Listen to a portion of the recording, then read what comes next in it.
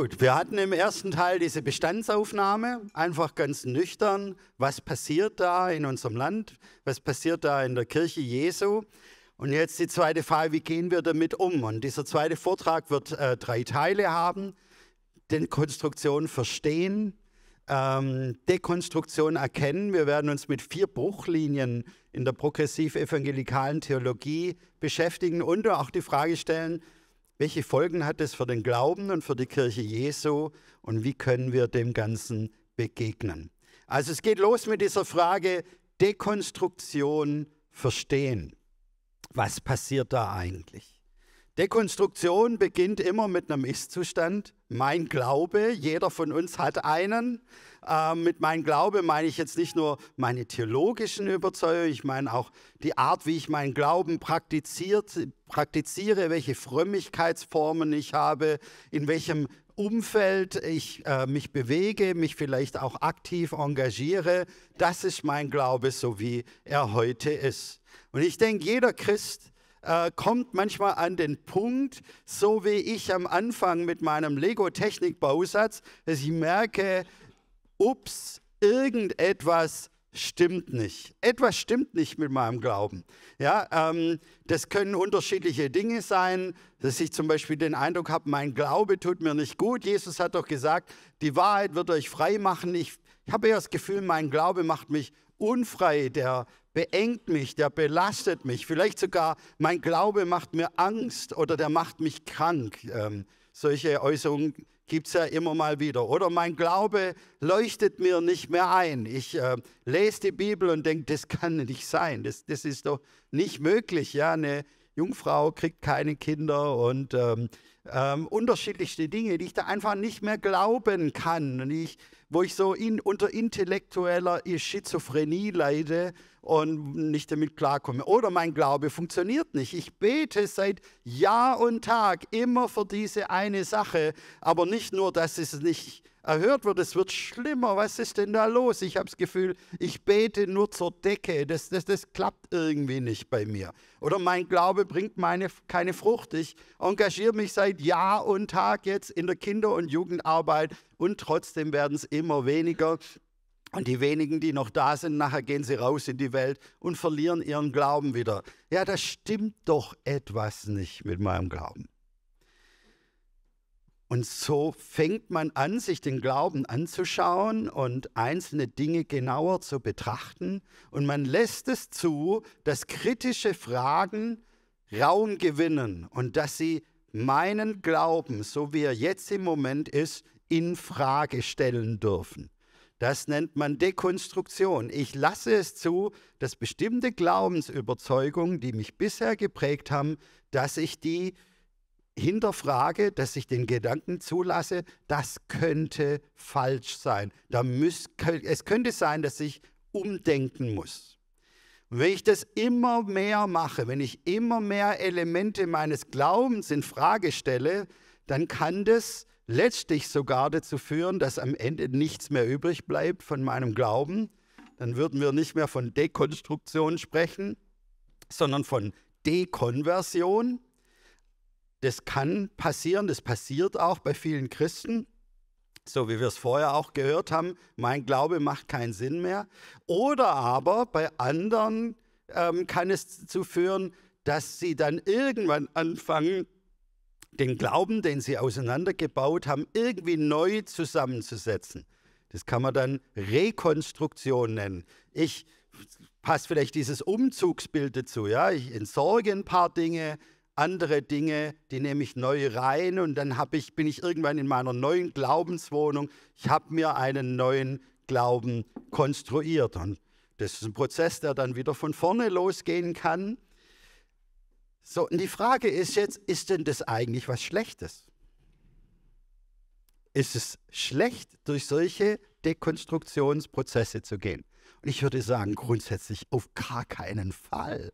Die Bibel ist ganz im Gegenteil voll von diesem Thema, voll von Dekonstruktion. Lies mal die Propheten. Sie gehen zum Volk Israel und sagen, bei eurem Glauben stimmt was nicht. Ja, ihr betet hier im Tempel Yahweh an und zu Hause habt ihr euren eigenen kleinen Götzen. Das muss dringend dekonstruiert werden. Ihr bringt ähm, am Schabbat eure Opfer da und am nächsten Tag äh, behandelt ihr eure Knechte gewalttätig. Das passt nicht zusammen. Dringend, bitte dekonstruieren, unbedingt. Bei Jesus genauso. Ja, er, er sagt zu den Pharisäern, äh, Otternzucht und äh, Otternbrut und Natterngezücht und getünchte Gräber, euer Glaube passt nicht, muss dringend dekonstruiert werden. Paulus ist sogar ein ganz großer Fan von Dekonstruktion. Er sagt, die Waffen unseres Kampfes sind nicht von menschlicher Art, es sind die mächtigen Waffen Gottes, mit denen man Festungen niederreißen kann. Mit ihnen zerstören wir Gedankengebäude und jedes Bollwerk, das sich gegen die Erkenntnis Gottes erhebt. Wir nehmen jeden solcher Gedanken gefangen und unterstellen sie Christus. Also Paulus hat gesagt, Dekonstruktion ist mein Geschäft. Ich zerstöre Gedankengebäude. So wichtig, dass wir das tun. Aber er sagt hier, das Ziel von dem ganzen Ding ist, dass die Gedanken Christus unterstellt werden.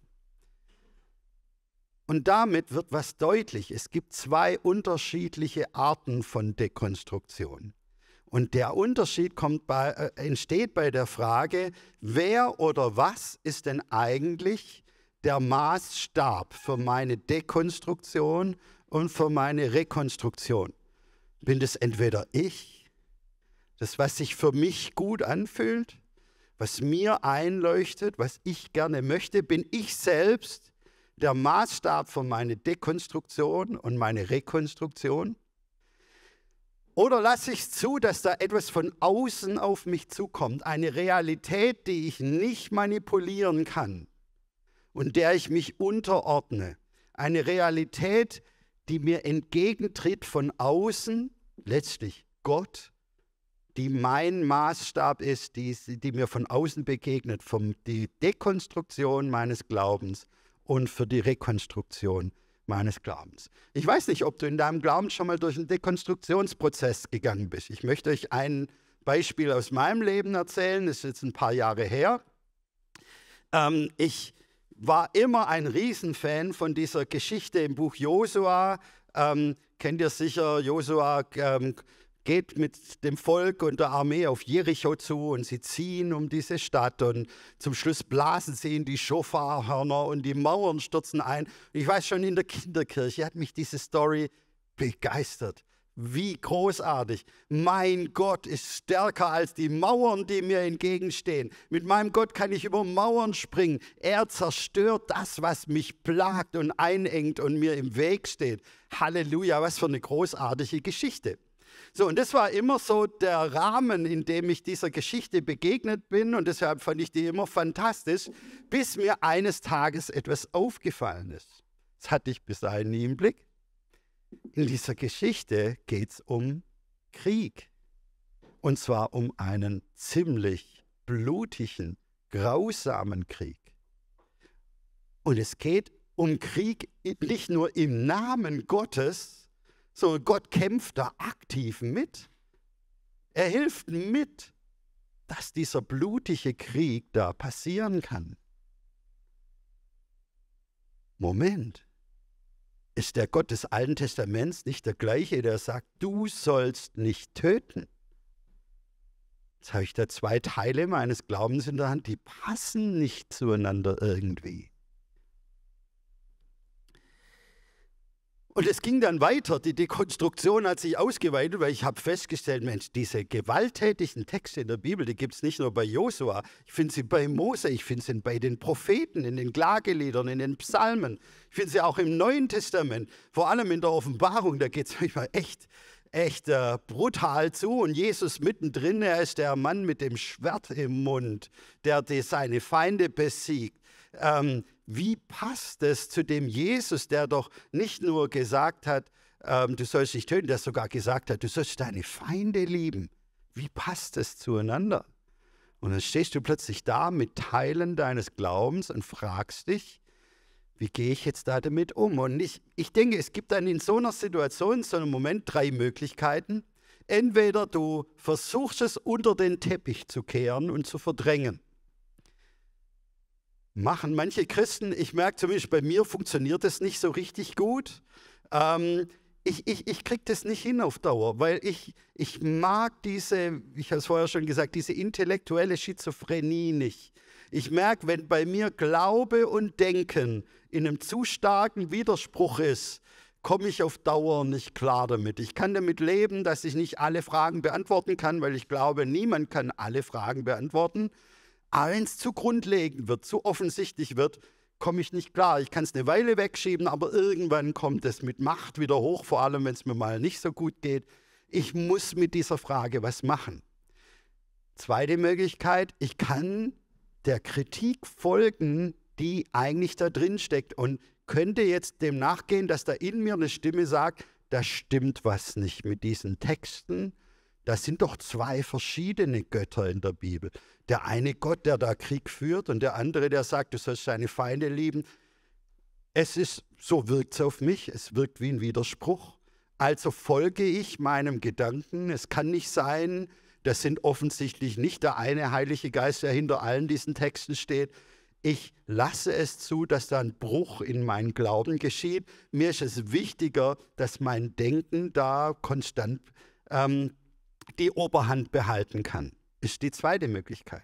Ich habe mich für die dritte Möglichkeit entschieden, die ist, ich bleibe bei dem Gedanken, dass dieses eine Buch vom Heiligen Geist inspiriert ist, deswegen eine Einheit darstellt und ich fange an, andere, diese Frage in dieses Wort hineinzutragen und ich frage die Bibel, andere Texte danach, wie kann denn das zusammenpassen? Und ich weiß, es war ein monatelanger Prozess, auch kein ganz leichter Prozess. Ich habe ähm, Gott in den Ohren gelegen, ja, ich will das verstehen. Wie passt denn das bitte zueinander? Wie kann ich das wieder zusammenbauen? Es hat Monate gedauert, bis ich ein Teil, ich hatte wie das Gefühl, Gott gibt mir ein Teil nach dem anderen, wie Puzzleteile, die ganz langsam ich wieder zusammensetzen kann und die ein neues Bild ergeben. Und tatsächlich ging es mir am Ende das so, dass es meinen Glauben vertieft hat, gestärkt hat aber war nicht so leicht. Es war schon ein, ein, ein intensiver Prozess. Ich, ich möchte es nochmal ähm, hier zeigen. Dekonstruktionsprozesse sind, glaube ich, grundsätzlich was Gutes. Wie gesagt, die Bibel ruft dazu auf, unseren Glauben zu dekonstruieren, wo er nicht mit der Offenbarung Gottes übereinstimmt. Aber die Frage ist eben, ist der Maßstab für meine Dekonstruktion und Rekonstruktion Gott? Gott selbst, dann wäre es eine theozentrische Dekonstruktion, also eine gottzentrierte Theo äh, Dekonstruktion, die dazu führt, dass meine Theologie zunehmend in der Offenbarung Gottes gründet. Oder bin der Maßstab ich selbst, wäre es eine anthropozentrische Dekonstruktion und Rekonstruktion, die das, also menschenzentriert, die dazu führt, dass meine Theologie zunehmend in menschlicher Erfahrung und Interpretation gründet. Zwei verschiedene Arten von Dekonstruktion und Rekonstruktion, die wir unterscheiden müssen. Und jetzt höre ich förmlich meine progressiven und postevangelikalen Freunde aufschreien und sagen, Markus, du machst dir hier gerade was vor. Du denkst also wirklich, du hättest hier mit diesem Buch einen Maßstab in der Hand, der dir quasi objektiv sagen kann, wie du zu denken hast und wie dein Glaube konstruiert sein soll. Hey Markus, es funktioniert doch nicht.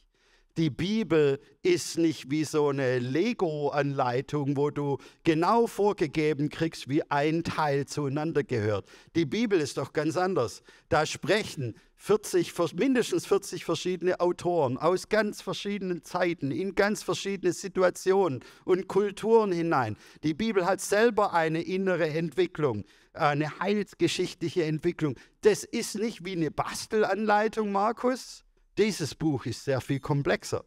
So, das ist der eine Einwand, der da kommt. Der nächste Einwand heißt, hey Markus, sei doch bitte mal realistisch. Wenn du, du glaubst doch nicht ernsthaft, dass die Bibel der einzige Faktor ist, der deinen Glauben prägt. Hey Markus, das kann nicht sein. Und du, Markus, du hast Erfahrungen gemacht in deinem Leben. Du hast eine Biografie und natürlich prägt die deinen Glauben mit. Du hast Autoritäten, die du einfach cool fandest oder gut fandest oder überzeugend fandest, die haben deinen Glauben geprägt. Du bist von Traditionen geprägt. Von Kind auf hast du dich in einem bestimmten religiösen Umfeld bewegt. Natürlich hat es deinen Glauben geprägt. Und hey, du bist ja jetzt nicht ganz dumm. Deine Vernunft, die prägt natürlich auch deinen Glauben mit und das ganze Wissen. Du hast studiert und du hast da Dinge gehört, die nicht jetzt sofort eins zu eins zu 1. Mose 1 und 2 passen in deinem Biologiestudium. Natürlich prägt das deinen Glauben mit. Also sei nicht so naiv, Markus, dass du denkst, du hättest einfach da so einen Maßstab und der prägt deine Glaubensentwicklung. So ist es doch nicht. Und ich würde sagen, diese Einwände sind berechtigt. Natürlich ist es so, dass die Bibel nicht einfach nur wie eine Bastelanleitung ist. Die ist sehr viel komplexer. Und natürlich ist es so, dass alle diese Faktoren tatsächlich unseren Glauben mitprägen. Und ich würde sogar sagen, das ist gut so, das ist sogar wichtig so. Ich würde uns intensiv warnen vor einem vernunftfeindlichen Glauben, ähm, der das Denken unterdrückt. Ich würde uns sehr warnen davor, ähm, einfach unsere Erfahrungen völlig äh, aus, äh, auszublenden und so zu tun, als gäbe es die nicht. Ich würde intensiv davor warnen, uns von Traditionen komplett abzuschneiden. Unsere Traditionen, unsere Glaubenswurzeln, unsere Glaubensväter und Mütter, was sie für uns getan haben, ist wichtig für unseren Glauben. Ich würde intensiv davor warnen, ähm, ne, ne, äh, einen Glauben zu leben, in dem du sagst, es gibt für mich keine Autoritäten, keine Vorbilder, von denen ich lerne. Das brauchen wir. Natürlich brauchen wir das.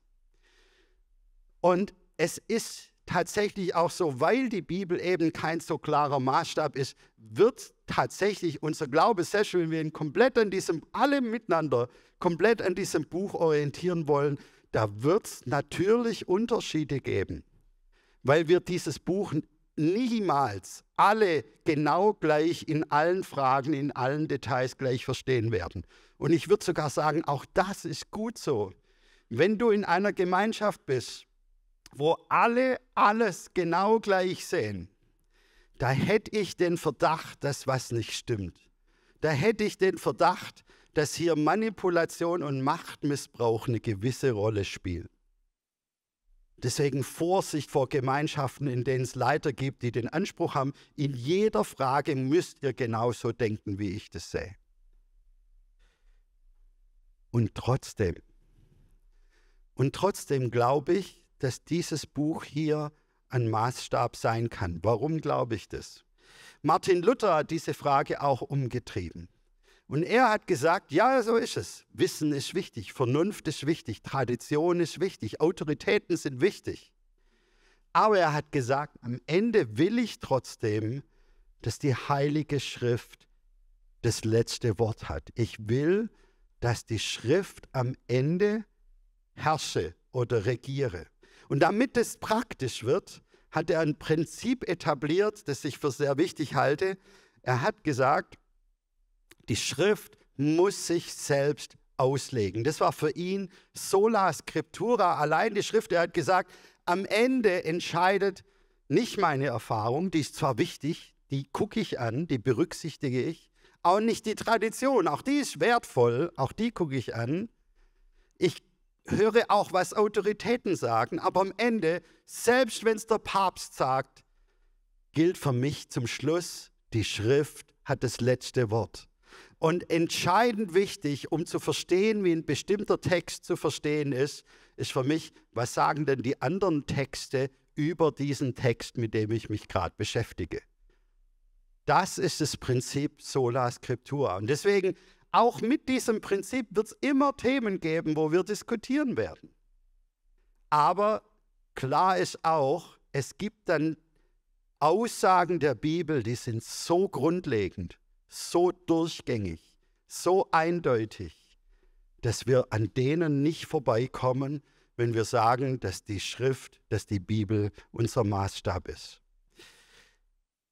Und meine Beobachtung ist, Ja, es gibt auch unter ganz bibeltreuen oder evangelikalen oder wie du sie auch immer nennen möchtest, Christen Themen, wo man unterschiedlicher Meinung sein kann. Aber es gibt grundlegende Themen, bei denen ist die Bibel so durchgängig, so eindeutig, dass ich an ihnen nicht vorbeikomme, es sei denn, ich zerbreche etwas, an, an, äh, äh, ich zerbreche einen Teil der Bibel, der dort eigentlich sehr klar und sehr deutlich angelegt ist. Ja, wie in unserem Lego-Modell, du kannst lang rumdoktern, wie passen die Teile richtig zusammen, aber wenn du anfängst, Teile zu zerbrechen, damit sie in das Bild passen, wie es du dir vorstellst, dann merkst du, jetzt habe ich grundlegend das verlassen, was eigentlich das Anliegen der Leute war, die diesen Bausatz zusammengestellt haben. Und ich möchte mit euch vier Bruchlinien angucken, die mir aufgefallen sind in postevangelikaler progressiver Theologie. Vier Themen, die in der Bibel durchgängig zusammengehalten werden, die aber in der postevangelikalen progressiven Theologie zunehmend voneinander getrennt werden. Und ich möchte auch, auch kurz mit euch darüber nachdenken, welche Konsequenzen es hat für den persönlichen Glauben und für die Kirche Jesu. Fangen wir an mit dem ersten Bruch. Das ist der Bruch zwischen Schrift und Offenbarung. Schrift und Offenbarung. Schrift und Offenbarung, das heißt, es geht darum, die Texte, die ich da habe, haben in der Bibel durchgängig den Anspruch, Offenbarung Gottes zu sein. Ihr kennt alle diesen Vers von Paulus, 2. Timotheus 3,16. Alle Schrift, alle Schrift von Gott eingegeben, Theopneustos, Geist durchhaucht, von Gottes Geist inspiriert. Petrus macht es ein bisschen konkreter. Er sagt, vor allem müsst ihr wissen, dass keine prophetische Aussage der Schrift aus eigener, eigener, eigenen Deutung stammt. Diese Menschen wurden vielmehr vom Heiligen Geist gedrängt, das zu sagen, was Gott ihnen aufgetragen hatte. Also Petrus sagt, Schrift, heilige Schrift. Ja, da reden Menschen, ganz klar. Es sind Menschen, die da sprechen. Aber sie sprechen nicht einfach das, was sie sich ausgedacht haben, sondern sie werden dabei vom Heiligen Geist gedrängt, bewegt, wie auch immer das genau gelaufen ist. Da müssen wir keine Theorie draus machen. Jedenfalls ist für Petrus klar, Gott steht hinter diesen Texten. Diese Texte haben einen weit höheren Horizont als den rein menschlich denkbaren Horizont, weil der Heilige Geist die Entstehung dieser Texte geprägt hat. Gibt ein, äh, eine schöne Aussage von dem ähm, Theologen Professor Gerhard Meyer, der war ja lange Zeit Landesbischof in der Württembergischen Kirche. Er hat geschrieben, und Gott sprach ist der Grundton der biblischen Erfahrung. Keiner der biblischen Propheten beginnt seine Botschaft mit der Aussage, ich habe mit Gott folgende Erfahrungen gemacht oder ähnlichem. Nein, von Jesaja bis zur Johannes-Offenbarung beginnen sie mit dem Hinweis, der Herr redet, das Wort des Herrn geschah, er offenbart. Das ist die Offenbarung Jesu Christi. Und er, Gerhard Meyer kommt sogar zu der Aussage nach seiner intensiven Analyse der biblischen Texte des Neuen Testaments. Er sagt, für die Autoren des Neuen Testaments waren die beiden Wendungen, die Schrift sagt und Gott sagt, untereinander austauschbar. Ja, die verwenden das mal so, mal so. Wenn die Schrift etwas sagt, dann gilt das. Dann ist es wie, wenn Gott das sagt. Auf, er, er stellt auch fest, für Jesus selber war das völlig klar. Er fragt immer, habt ihr nicht gelesen? Sonst wüsstet ihr, wie Gott über diese Sache denkt. Die Schrift hatte auch für Jesus vollständige Autorität. Und entsprechend bekennt die evangelische Allianz in ihrer Glaubensbasis, die Bibel bestehend aus den Schriften des Alten Testaments ist Offenbarung des Dreieinen Gottes. Sich von Gottes Geist eingegeben, zuverlässig, höchste Autorität in allen Fragen des Glaubens und der Lebensführung. Da wird Schrift und Offenbarung als identisch angesehen. Die Schrift ist Offenbarung. Ganz anders zum Beispiel in einem aktuellen Grundsatztext der evangelischen Kirche. Da wird gesagt, die biblischen Texte werden gehört und ausgelegt als Gottes Wort im Menschenwort, dass das endgültige Wort Gottes in Person und Wirken Jesu Christi bezeugt. So, das hört sich erstmal gar nicht so fremdartig an, aber genau hinschauen, da ist ein kleiner, aber entscheidender Unterschied. Bei der Allianz wird gesagt, die Schrift ist Offenbarung. Hier in diesem Text von der evangelischen Kirche wird gesagt, die eigentliche Offenbarung ist Jesus Christus. Und der Bibeltext bezeugt diese Offenbarung, die aber Jesus Christus ist. Also der Unterschied ist, in einem Fall ist, die, ist dieser Text Offenbarung, im anderen äh, Fall wird gesagt, dieser Text bezeugt die Offenbarung. Das heißt, da wird gesagt, der Text an sich, wie er ist, ist keine Offenbarung.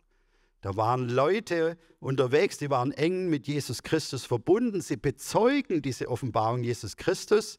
Der Text selber ist aber menschlicher Natur. Beide reden davon, dass die Bibel Gottes Wort im Menschenwort sei. Im einen Fall ist da gemeint, ja, die Bibel ist Menschenwort. Menschen haben geredet, so wie es Petrus auch sagt. Also ist zugleich voll und ganz Gottes Wort. Im anderen Fall ist gemeint, die Bibel kann Gottes Wort enthalten bzw. vermitteln. Mal ein Zitat davon zu von Siegfried Zimmer. Er sagt, die, der Satz, die Bibel ist Gottes Wort, den finde ich gut.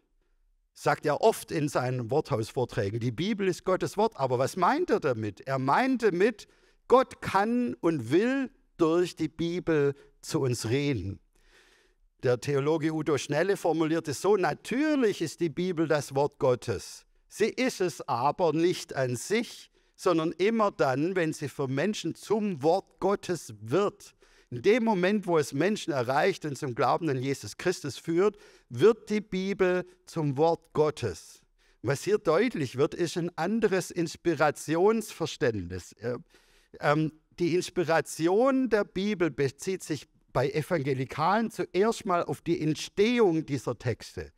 Evangelikale sind überzeugt, die Entstehung dieser Texte geht auf ein Wirken des Heiligen Geistes zurück progressiven oder postevangelikalen äh, Bibelverständnis ist es anders. Da wird gesagt, die Entstehung der Texte können wir nicht mehr viel dazu sagen. Es ist ein menschlicher Prozess.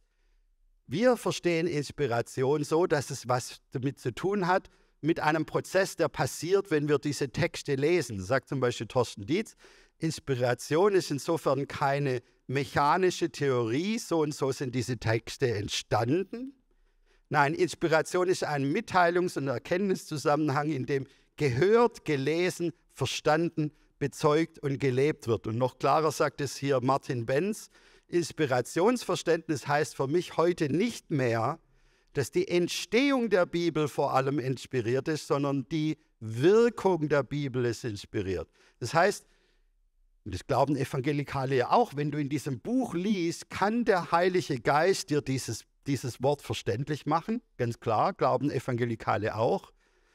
Aber im progressiven Bibelverständnis wird ähm, die Inspiration auf den Prozess des Lesens beschränkt, reduziert. Es wird aber nicht mehr angenommen, dass der Heilige Geist bei der Entstehung der Texte entscheidend war. Und es hat eine entscheidende Konsequenz. Eine Konsequenz für die Frage, darf man diese Texte eigentlich kritisieren? Darf man Inhalte dieser Texte ablehnen, ja oder nein? Ein Evangelikaler sagt dazu, ich kann diese Texte nicht kritisieren, es ist unmöglich. Wenn Gott doch spricht, wer bin ich Mensch dann, dass ich sagen kann, hey Gott, sehe ich anders. Das geht nicht. Aber wenn diese Texte menschliche Texte sind, dann kann ich sie sehr wohl kritisieren. Siegfried Zimmer sagt, eine Kritik an den Offenbarungsereignissen steht kein Mensch zu. Und damit meint er, dass Jesus auf die Welt gekommen ist. Die schriftlichen Darstellungen von Offenbarungsereignissen, das, was wir hier in der Bibel haben, die darf man aber untersuchen, auch wissenschaftlich und kritisch.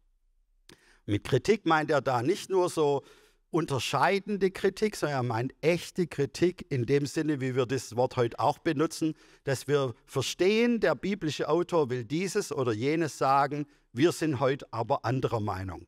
Das nennt man in der Theologie Sachkritik.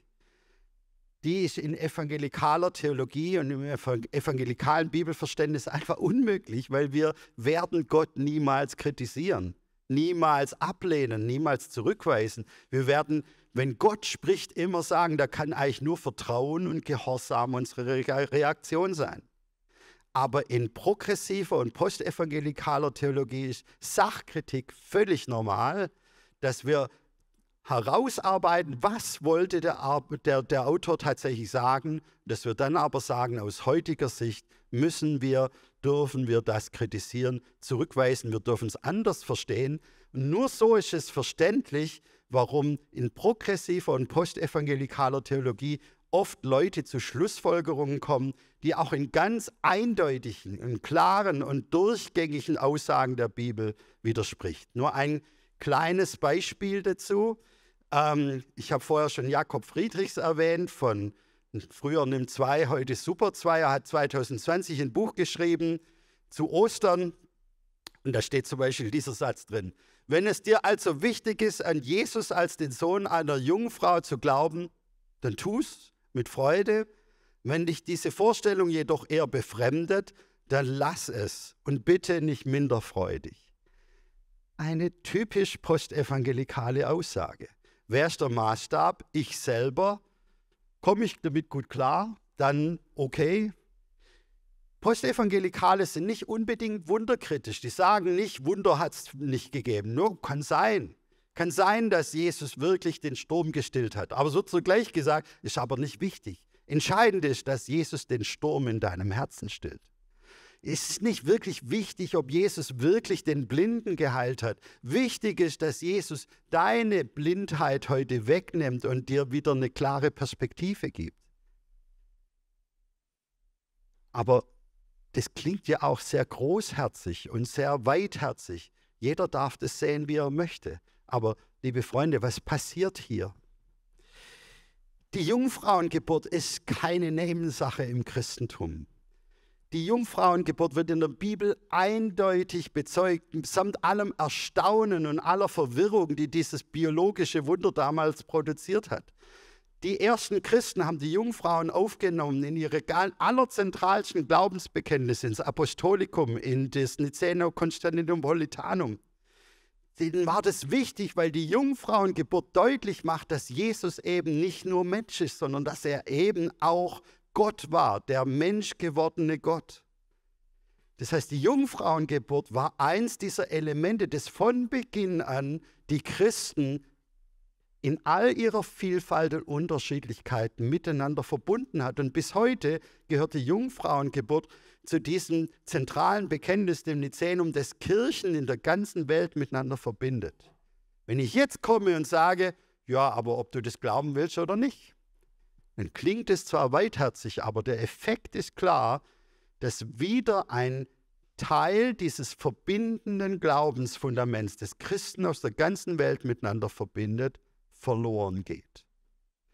Meine Beobachtung ist, dass dieses Bibelverständnis tatsächlich direkt diese Konsequenz hat, dass Einheit in Vielfalt nicht mehr möglich ist. Ja, das, das, das, muss uns Christen ja immer umtreiben. Wie geht Einheit? Jesus hat für Einheit gebetet. Jesus hat gesagt, unser Zeugnis in der Welt hängt dran, dass wir Einheit haben, obwohl wir so unterschiedlich sind, obwohl wir so vielfältig sind. Die ersten Christen, das war ein wahnsinnig bunter Haufen. Und äh, Paulus war das wichtig, dass man da Einheit hat. Und er hat gesagt, deswegen ist es wichtig, dass wir bei Prägungsfragen, bei kulturellen Fragen, da haben wir große Vielfalt miteinander. Da, da ist es mir auch selber wichtig, ich bin allen alles geworden, damit ich auf alle Weise einige rette. Also bei solchen Randfragen, Prägungsfragen, Kulturfragen, da hatte Paulus eine große Weite. Aber wenn es ums Evangelium ging, da war es vorbei mit der Großherzigkeit. Äh, ich, ich traue mich kaum, es vorzulesen, was Paulus schreibt. Wenn, je, wenn jemand euch etwas an, als Evangelium verkündigt, entgegen dem, was ihr empfangen habt, boah, ihr könnt selber lesen, was da steht. Da war Paul, für Paulus die Großherzigkeit und die Weitherzigkeit komplett vorbei. Er hat gesagt, in den Kernfragen des Evangeliums, da müssen wir komplett bei dem bleiben, was ihr von den Aposteln ein für alle Mal gelernt habt und was überliefert wurde. Deswegen war es auch den ersten Christen so wichtig. Wir müssen formulieren, bei welchen Themen wir komplett beieinander sind, weil sie aus der Bibel eindeutig hervorgehen. Wir haben schon in der Bibel selbst diese Bekenntnisse. Heute haben Bekenntnisse oft so ein bisschen Geruch von, das sind, das sind so Buchstabenfanatiker. Das sind so Leute, die so die, die, die wollen halt, die wollen Klarheit und die wollen alles klar durchformuliert haben. Für die ersten Christen war das anders. Für sie waren Bekenntnisse verbindende Glaubensschätze, die Einheit überhaupt möglich gemacht haben. Weil diese junge Kirche, die war ein so wilder, bunter Haufen und sie haben gemerkt, unsere Lehren werden komplett hinterfragt, äh, äh werden äh, bezweifelt, kritisiert und wir müssen klar machen, was die Grundlagen unseres Glaubens sind. Und das war eine entscheidende Grundlage, warum sie Einheit miteinander bewahren konnten, warum dieses junge Christentum zu einer Bewegung werden konnte, die letztlich die ganze Welt erobert hat. Meine Beobachtung ist genau das. Einheit in Vielfalt gelingt da, wo wir, diese, wo wir diesen gemeinsamen Maßstab haben. Selbst wenn wir dann nicht überall zu den genau gleichen Schlussfolgerungen kommen. Aber in den wesentlichen Punkten bleiben wir beieinander, wenn wir sagen, wir halten fest dran, Schrift und Offenbarung, das gehört zusammen. Zweiter Bruch ist der Bruch zwischen Glaube und Geschichte. Auch das wird in der Bibel durchgängig beieinander gehalten. Ähm, Johannes schreibt es hier zum Beispiel. Jesus tat, er, er, schreibt hier, warum er dieses Evangelium geschrieben hat. Er sagt, Jesus tat vor den Augen seiner Jünger noch viele andere Wunderzeichen, die aber nicht in diesem Buch aufgeschrieben sind. Was hier berichtet ist, wurde aufgeschrieben, damit ihr glaubt, dass Jesus der Messias ist, der Sohn Gottes. Also Johannes sagt, ich habe hier eine theologische Aussage. Jesus ist der Sohn Gottes, der Erlöser, der Erretter.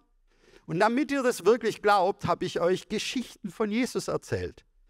Und es ist wichtig, war mir wichtig, diese Wunderberichte, die Tauben hören, die Lahmen gehen, die Toten stehen auf. Das, das ist wichtig, dass ihr das hört, weil das hat Jesaja vorausgesagt. Das wird der Messias sein, der genau das tut. Das heißt, seine theologische Botschaft basiert auf historischen Ereignissen, wie Gott in die Geschichte eingegriffen hat. Für die ersten Christen waren diese historischen Ereignisse grundlegend für ihren Glauben. Ja, ihr kennt das Apostolikum, dieses allerbekannteste Glaubensbekenntnis. Was bekennen wir da? Wir bekennen da nicht theologische Überzeugungen. Wir bekennen Ereignisse in der Geschichte. Geboren von der Jungfrau Maria, gelitten unter Pontius Pilatus. Also eine historische Figur. Gekreuzigt, gestorben, begraben, am dritten Tag auferstanden von den Toten. Das heißt, die ersten Christen haben bekannt, unser Glaube ist nicht nur so ein Denkkonstrukt. Er basiert auf Ereignissen, die passiert sind in der Geschichte. Und Timothy Keller macht deutlich, wie grundlegend wichtig diese historische Verwurzelung unseres Glaubens ist. Er schreibt, das christliche Evangelium ist kein gut gemeinter Rat, sondern es ist gute Nachricht. Es ist keine Handlungsanleitung, was wir tun sollten, um uns selbst zu retten, sondern vielmehr Verlautbarung, was bereits für unser Heil getan wurde. Das Evangelium sagt, Jesus hat in der Geschichte etwas für uns getan, damit wir, wenn wir im Glauben mit ihm verbunden sind, Anteil an dem bekommen, was er getan hat und so gerettet werden. Timothy Keller sagt also, es ist entscheidend, Gottes Handeln und Eingreifen in der Geschichte, darin ist unser Glaube verwurzelt, darauf basiert unser Glaube.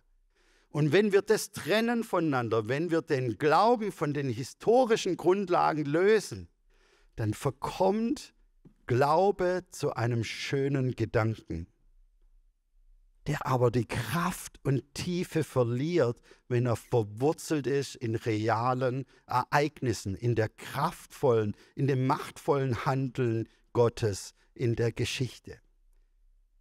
Und deswegen, um nochmal auf dieses Zitat von Jakob Friedrich zurückzukommen, ist es eben keine Kleinigkeit, wenn ich sage, es ist halt beliebig, ob es wirklich passiert ist. Unser Glaube verliert Entscheidendes, wenn wir ihn von diesen historischen Grundlagen äh, trennen und nebenbei verliert die Bibel ganz schlicht und einfach auch ihre Glaubwürdigkeit. Weil in der Bibel erkennen wir grundlegend dieses Prinzip. Gott handelt in der Geschichte und auf der Basis dieser Geschichte, die Gott mit den Menschen schreibt, daraus entsteht unser Glaube und unser Vertrauen. Die Bibel verliert ihre Glaubwürdigkeit. Ich kann das bei uns der evangelischen Kirche gut beobachten. Wenn unsere Konformanten zwar das Apostolikum auswendig lernen, dann aber merken, dass nicht mal ihre Pfarrer glauben, dass Jesus wirklich äh, von einer Jungfrau geboren worden ist, ja, selbst die durchschauen, dass da irgendwas nicht zusammenpasst. Dritter Bruch passiert zwischen Vorbild und Stellvertretung. Jesus ist unser Vorbild, da sind sich Evangelikale und Postevangelikale einig. Wir folgen ihm nach, wie er mit den Menschen umgegangen ist, was er für die Armen, für die Schwachen, für die Ausgegrenzten getan hat. Darin ist er Vorbild, wie er selbst im Sterben seinen Feinden vergeben hat. Er ist unser Vorbild. Da sind sich alle einig. Aber für Evangelikale gilt auch, Jesus ist auch ein Stellvertreter, der stellvertretend für uns gestorben ist. Könnten wir jetzt einen ganzen Vortrag darüber machen, weil es so zentral und so durchgängig in der Bibel bezeugt wird, dass es im Zentrum unseres Glaubens diese Aussage steht, Jesus ist an unserer Stelle für unsere Sünden gestorben. Der Theologe John Stott hat mal gesagt, wenn Gott in Christus nicht an unserer Stelle gestorben wäre, könnte es weder Sühnung noch Erlösung, weder Rechtfertigung noch Versöhnung geben. Wie gesagt, ein eigenes großes Thema. Aber nimmt dieses Prinzip der Stellvertretung heraus und es bricht alles in sich zusammen. Es bleibt nichts mehr übrig vom biblischen Evangelium. Deswegen finde ich, hat die evangelische Allianz recht, wenn sie bekennt, der Mensch ist durch Sünde und Schuld von Gott getrennt. Jesus Christus, der menschgewordene Sohn Gottes, ist stellvertretend für alle Menschen gestorben. Sein Opfertod allein ist die Grundlage für die Vergebung von Schuld, für die Befreiung von der Macht der Sünde und für den Freispruch in Gottes Gericht. Das ist das Zentrum des Evangeliums. Das ist das Zentrum der Botschaft, die wir gerufen sind, in die ganze Welt zu tragen. Aber wenn wir zum Beispiel lesen, was in diesem Buch, ich habe vorher davon berichtet, Glauben, Lieben, Hoffen über dieses Thema steht, ich, ich habe gedacht, das ist wie eine direkte Antwort auf diese Glaubensbasis der evangelischen Allianz, weil da sagt der Autor, so wird er und wurde und wird häufig argumentiert, infolge des Sündenfalls ist der Mensch getrennt von Gott und nur ein vollkommenes Opfer kann die Beziehung zwischen Gott und Mensch wieder in Ordnung bringen. Ja, genau.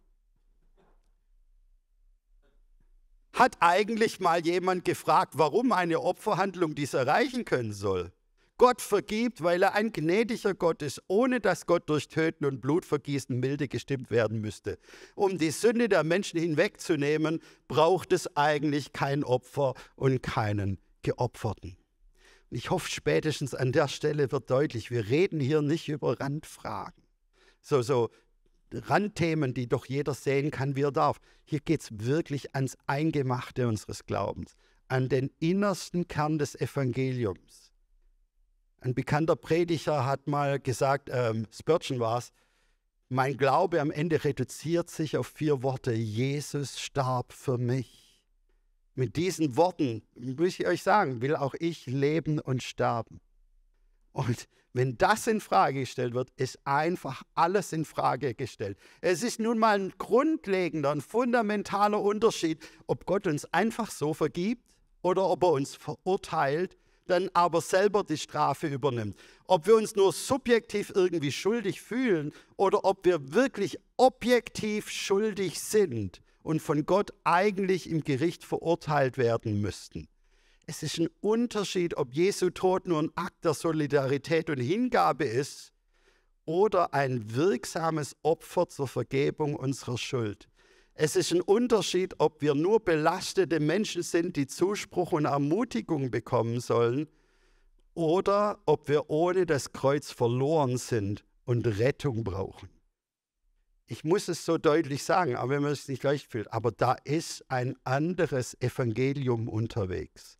Ich nenne es oft das therapeutische Evangelium, das zwar viel Zuspruch uns bringen will, aber das an unserem Kernproblem vorbeigeht, unserem Sündenproblem, unser Verstricktsein in Schuld und Sünde, durch das wir nur durch, dadurch befreit werden, dass wir mit Christus am Kreuz sterben und durch den Heiligen Geist neues Leben in uns weg. Genau das will ja die Taufe zum Ausdruck bringen. Wenn wir das weglassen, haben wir den entscheidenden Teil des Evangeliums verpasst. Das hat Konsequenzen, natürlich für unser persönlichen Glauben, für unser persönliches HL, aber auch für die Kirche. Ansgar Hörsting war lange Jahre der äh, Präses der freien evangelischen Gemeinden. Er kennt also unglaublich viele Gemeinden im Land und er sagt, ich kenne keine missionarisch wirksame Gemeinde, in der es nicht Leute gibt, die klar auf dem Schirm haben, ohne Jesus Christus sind Menschen verloren. Wenn wir das verlieren, dass wir ohne den stellvertretenden Opfertod Jesu am Kreuz verloren sind, dass wir Rettung brauchen, dann versandet auch die missionarische Dynamik. Ich bin evangelisch, ich weiß, wovon ich rede, denn bei uns ist Mission und Evangelisation komplett verloren gegangen. Und meine Beobachtung ist, er hat recht, seine Erfahrung stimmt immer noch. Wo dieses Evangelium verloren geht, hören Kirchen auf und Gemeinden auf, missionarisch aktiv zu sein. Letzter Bruch ist zwischen Liebe und Gebot. Ich möchte es diesmal andersrum anfangen, will gleich mit der postevangelikalen Position beginnen. Nochmal aus diesem Buch, anders als geglaubt von Preston Ulmer, weil es auch so eine typisch postevangelikale Formulierung ist. Er schreibt, wenn Menschen sich von Dogma und Gesetzlichkeit entfernen und sich zur Liebe, Akzeptanz und Gnade hinwenden, werden sie von vielen Vertretern des Evangelikalismus als Bedrohung angesehen. Aber diese Menschen setzen voll und ganz auf den Geist des Gesetzes, nicht auf das Gesetz selbst. Das führt mich zu der Frage, ist es besser, den Buchstaben des Gesetzes zu befolgen oder sich zu bemühen, nach dem Geist des Gesetzes zu leben? Jede unserer Regeln, die nicht dem Wesen Jesu entspricht, das Liebe ist, gehört nicht ins Haus Gottes ganz typischer postevangelikaler Text, der zwei, der, der erstmal einen Gegensatz aufmacht zwischen Buchstabe und dem Geist. Und da wird gesagt, Buchstabe ist minderwertig, entscheidend ist der Geist. Und der kann irgendwie scheinbar unabhängig von den Buchstaben agieren. Der kann vielleicht sogar das Gegenteil uns, äh, in, uns ins Gegenteil dessen reinführen, wo der Buchstabe uns hinführt. Und das Zweite ist, da wird gesagt, wir müssen uns ans Jesus orientieren. Ja, richtig. Aber dann wird sein Wesen reduziert auf die Liebe. Und tatsächlich ist natürlich die Liebe ein entscheidendes Wesensmerkmal von Jesus, aber eben nicht allein. Jesus ist auch heilig. Und Jesus hat deswegen keineswegs den Buchstaben des Gesetzes verabschiedet. In Matthäus 5 äh, sagt Jesus, denkt nicht, dass ich gekommen bin, um das Gesetz oder die Worte der Propheten außer Kraft zu setzen. Ich bin nicht gekommen, um sie aufzuheben, sondern um sie zu erfüllen. Denn ich versichere euch, solange Himmel und Erde bestehen, wird nicht ein Punkt oder Strich vom Gesetz vergehen. Er geht sogar weiter wie Buchstabe. Er sagt, kein Punkt, kein Strich wird vergehen. Wer auch nur eins von den kleinsten Geboten aufhebt und die Menschen in diesem Sinn lehrt, gilt unter der Herrschaft des Himmels als der Geringste. Wer aber danach handelt und entsprechend lehrt, der wird in diesem Reich hochgeachtet sein. Und in Johannes 14 sagt er, wer mich liebt, wenn ihr mich liebt, werdet ihr meine Gebote befolgen. Jesus hat keine Buchstabenphobie. Er hat keine Wortphobie. Er liebt den Buchstaben, der uns das Gesetz bringt, das uns zum Leben führt. Jesus macht keinen Gegensatz zwischen Liebe und Gebot, sondern er sagt, es gehört zusammen. Denn die Gebote helf, helfen uns, gemäß der Liebe Gottes zu leben und zu handeln. Will es nur an einem Beispiel konkret machen. Ja, Jesus spricht zum Beispiel über das Gesetz des Ehebruchs. Er sagte in Matthäus 15, wer sich von seiner Frau scheiden lässt und eine andere heiratet, begeht Ehebruch, außer sie hat zuerst die Ehe gebrochen. Jesus distanziert sich hier nicht von dem Gesetz des Mose. Und interessant ist dabei, dass hier der, e, das, der Begriff Ehebruch mit zwei verschiedenen Vokabeln genannt wird. Zuerst gibt es hier diese Vokabel im Griechischen, Moichao, Ehebruch begehen. Und im zweiten Fall steht hier der Begriff Porneia für diesen Wort Ehebruch. Porneia ist interessant. Denn Porneia wird, kommt 25 Mal im Neuen Testament vor, wird übersetzt oft mit Unzucht oder Hurerei. Die Basisbibel übersetzt mit verbotene sexuelle Beziehungen.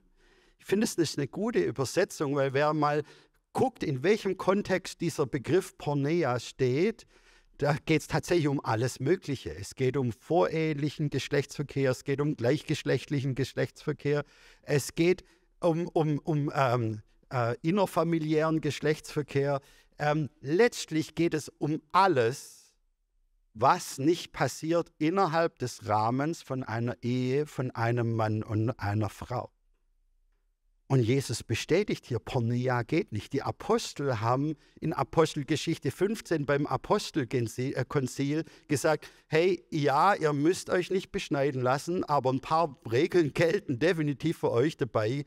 Porneia, Apostelgeschichte 21 nochmal, in der Offenbarung nochmal. Also für die ersten Christen gab es durchaus Gesetze, die für sie weiterhin gegolten haben.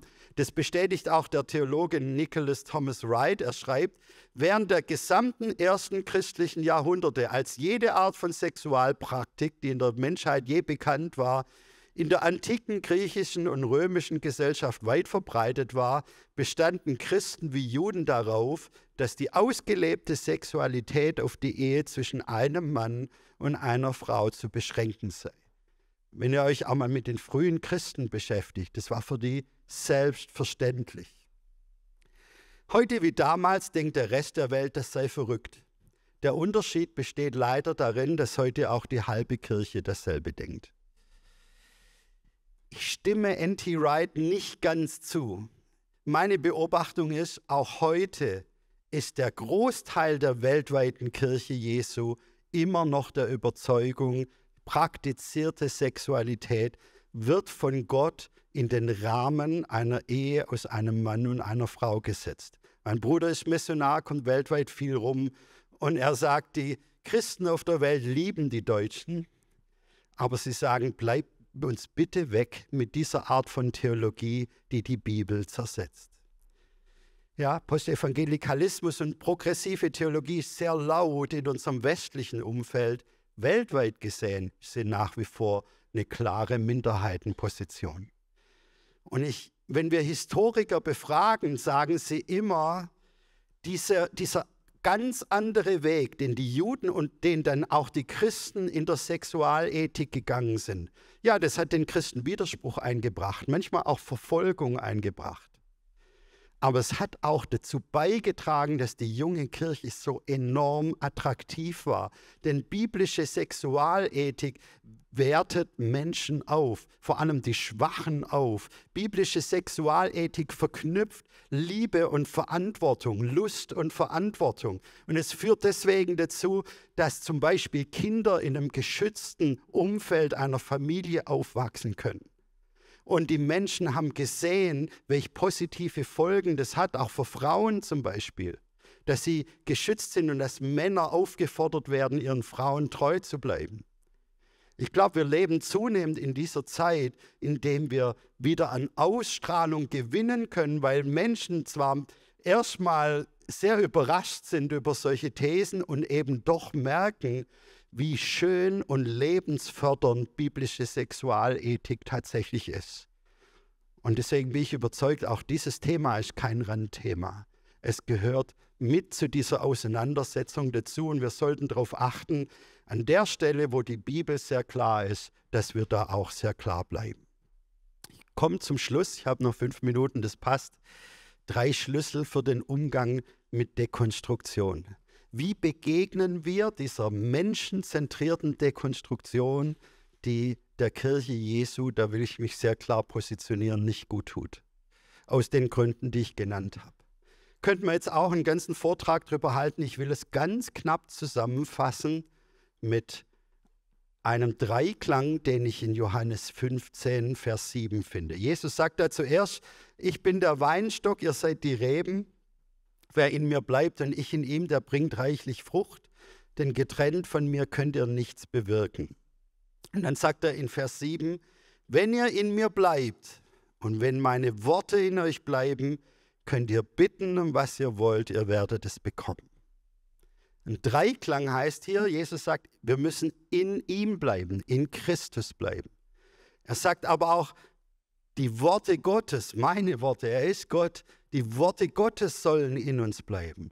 Und drittens sagt er, erwartungsvolles Gebet, dazu ermutigt er uns. Ich glaube, diese drei Dinge brauchen wir so dringend. Zum einen brauchen wir so dringend, dass wir in ihm bleiben, in Christus bleiben, tatsächlich in ihm als Person bleiben. Postevangelikale und Pragmatiker haben ja recht, tatsächlich. In der Mitte unseres Glaubens steht nicht ein Text, nicht ein Dogma, sondern der lebendige Christus. Und Jesus hat gesagt, das Wichtigste von allem ist es, Gott zu lieben, den Herrn deinen Gott, also auch Christus zu lieben, von ganzem Herzen, mit ganzer Seele, mit allem, was du hast. Die Liebe, die im Alltag praktiziert wird zu Jesus Christus, zum lebendigen Jesus Christus, ist so entscheidend. Im Sendschreiben an die Epheser lesen wir, die Gemeinde ist fantastisch. Aber der Heilige Geist sagt, Leute, ich habe aber ein Problem. Ihr habt die erste Liebe verlassen. Leute, das müsst ihr ändern, sonst werdet ihr am Ende alles verlieren. Paulus sagt, das Ziel aller Unterweisung ist, Liebe aus reinem Herzen und ungeheucheltem Glauben. So auch das Ziel dieses Studientages ist nicht am Ende, dass euer Kopf noch viel voller ist, dass hoffentlich unsere Liebe zu Christus wächst. Und die Liebe ist so entscheidend. Meine Beobachtung ist, wo wir die Liebe verlieren, da wird Glaube kalt, hart und gesetzlich. Spurgeon hat mal gesagt, wenn der Geist Gottes fehlt, wird sogar die Wahrheit zum Eisberg. Ist der Geist Gottes, der, der uns Jesus vor Augen malt, in all seiner Schönheit, in seiner Liebe, in seiner Hingabe. Es ist der Geist Gottes, der uns im Gebet sagen lässt, Abba, Papa, lieber Vater. Es ist diese Liebe zu Christus, die wir nicht verlieren dürfen. Aber dann sagt er, das Zweite ist auch wichtig. Er macht eben keinen Gegensatz auf zwischen Liebe und Buchstabe, sondern, ich muss nur mal zurücknehmen, Worte sind im Judentum wie auch im Christentum absolut entscheidend. Ja, es gibt heute in der Postmoderne oft diese Theorie, Worte seien gar nicht in der Lage, eindeutige Inhalte zu vermitteln. Es hat, hey, unsere, das stimmt natürlich. Es gibt immer Missverständnisse, weil wir Worte manchmal unterschiedlich füllen und weil wir mit Worten unterschiedliche Assoziationen verbinden. Aber hey, unsere ganze Wissensgesellschaft basiert darauf, dass Worte sehr wohl in der Lage sind, eindeutige Inhalte zu vermitteln. Und so ist auch die Bibel der Überzeugung, die Botschaft der Bibel, sie mag in, in, in Teilen knifflig sein, aber die entscheidenden Sachen sind sehr klar. In Micha steht, es ist dir gesagt, Mensch, was gut ist und was der Herr von dir fordert, nichts als Gottes Wort halten und Liebe üben und demütig sein vor deinem Gott. Also da wird gesagt, hey, die entscheidenden Botschaften, die sind eindeutig, du kannst die Bibel lesen. Martin Luther hat gesagt, er hat von der Klarheit der Schrift gesprochen. Und es war ihm wichtig, dass wir in diesen Worten verwurzelt sind. Deswegen hat er sich die Mühe gemacht, dieses Wort zu übersetzen, damit es jeder lesen kann und damit jeder sogar dem Papst entgegentreten kann und sagen kann, hey, in der Schrift steht aber was anderes. Es ist so entscheidend, dass wir verwurzelt sind in den Worten und was wir brauchen, ist mehr als nur eine, eine Kalenderspruchtheologie, ja, wo wir jeden Tag einen netten, herzerwärmenden Vers an unseren Kühlschrank kleben. Paulus hat gesagt, alle Schrift ist von Gott eingegeben. Und wir brauchen alle Schrift, um wirklich gesund verwurzelt zu sein in Gottes Wahrheit. Und dafür brauchen wir die ganze Schrift mit ihren Ecken, mit ihren Kanten, mit ihren Provokationen. Und wir müssen auch unsere Freunde und unser Umfeld dazu anleiten, uns in der ganzen Schrift zu verwurzeln. Weil meine Beobachtung ist, wo wir die Liebe zu Christus fördern, auch die Verwurzelung in Gottes Wort verlieren, da driftet Kirche irgendwann ab. Sie hat nicht mehr die Widerstandskraft, um gegen die Einflüsse der Zeit stabil vorgehen zu können. Wo aber umgekehrt die Verwurzelung in Gottes Wort gepredigt wird, auch die Liebe zu Christus verloren geht, da wird Glaube eng, hartherzig, kalt und spaltend.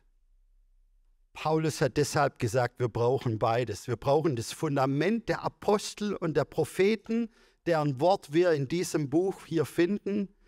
Und der Eckstein muss Jesus Christus sein, unser Herr, den wir lieben und dem wir folgen.